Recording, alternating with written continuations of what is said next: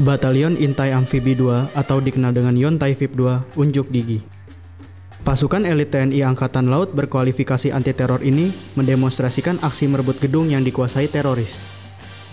Dengan menggunakan senapan MP5, dua tim pasukan terjun payung bergerak cepat namun senyap langsung menghabisi musuh.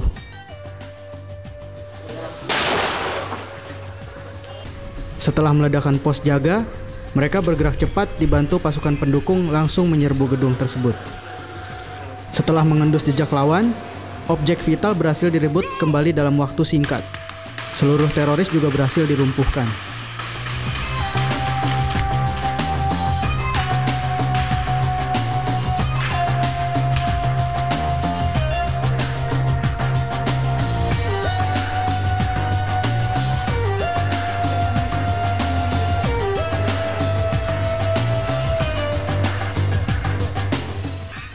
Demonstrasi ini digelar dalam rangka peresmian markas baru Yontai VIP 2 di Marunda, Jakarta Utara.